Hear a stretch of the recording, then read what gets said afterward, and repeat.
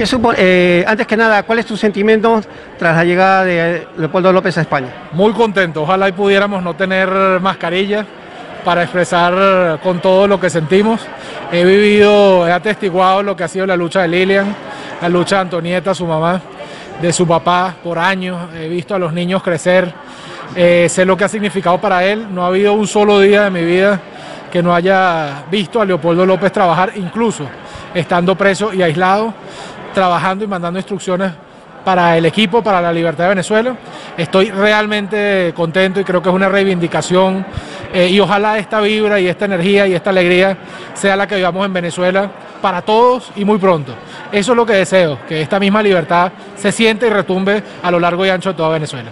Quizás es un sentimiento especial también, ¿no? Porque tú también que estuviste preso en Venezuela, incluso también creo torturado, ¿no? Sí, est- est- estuve preso en efecto 14, 14 meses, un año, un poco más de un año en, el- en la sede de inteligencia. Sé lo que es, sé lo duro que es para la familia.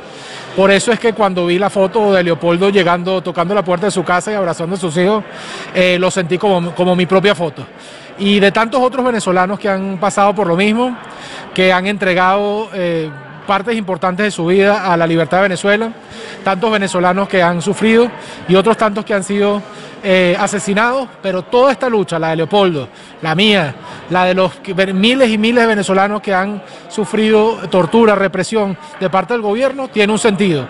Y el sentido es la libertad, la democracia y el crecimiento de Venezuela. Una Venezuela inclusiva, una Venezuela próspera, en donde no haya hambre y donde no haya olvido. Para eso lo hemos hecho. Te recuerdo cuando viniste el 2007, 2008, no recuerdo el año, y en Casa América tuvieron un debate con las juventudes eh, de, de bolivarianas aquí en Casa América. Y estaba junto con Rodrigo Diamanti, ¿no? ¿Cómo ha pasado el tiempo, no? Y, y desde entonces eh, Venezuela ya se vislumbraba que se iba, bueno, al abismo, ¿no? Ya lo decíais vosotros. Mira, lo hemos advertido eh, por muchos, más de una década. Tenemos advirtiendo que esto llegaría al punto en el que está. Lamentablemente no lo pudimos evitar, pero sabemos que queda poco. Esta ha sido una lucha muy larga en la que hemos comprometido años de vida, en la que hemos comprometido toda nuestra capacidad, nuestra libertad, hemos puesto en riesgo nuestra familia, pero tenemos certeza y convicción de que nunca, nunca hemos estado tan cerca. No se nos puede escapar la libertad venezolanos. Este es el momento de apretar porque nunca hemos llegado tan lejos.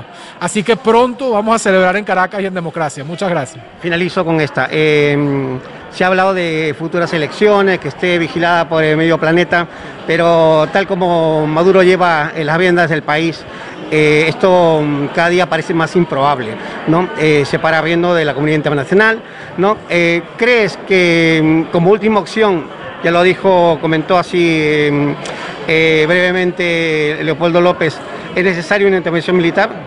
Los venezolanos estamos empujando con todo, presionando con todo y dándolo todo para que en compañía de la comunidad internacional podamos materializar elecciones libres en Venezuela, presidenciales. Por supuesto, nunca nos vamos a presentar un fraude. Nunca vamos a validar la mamarrachada, la sinvergüenzura y el abuso que Nicolás Maduro quiere cometer, por ejemplo, el 6 de diciembre. Pero tenemos que seguir empujando para buscar unas elecciones libres y transparentes en Venezuela. Si eso no es posible, estamos dispuestos a ir hasta donde haga falta. Los venezolanos, esa es nuestra ruta y quiero ser muy claro, nosotros pensamos que con la comunidad internacional y con el apoyo y la fuerza del pueblo de Venezuela, unas elecciones en Venezuela son posibles. Pero nunca nos vamos a rendir y vamos a llegar hasta la libertad, con todo lo que eso implica. Nosotros no somos un pueblo de esclavos, no nos vamos a dar a arrodillar y no nos vamos a rendir. Así que todo lo que haga falta por la libertad de Venezuela lo vamos a hacer.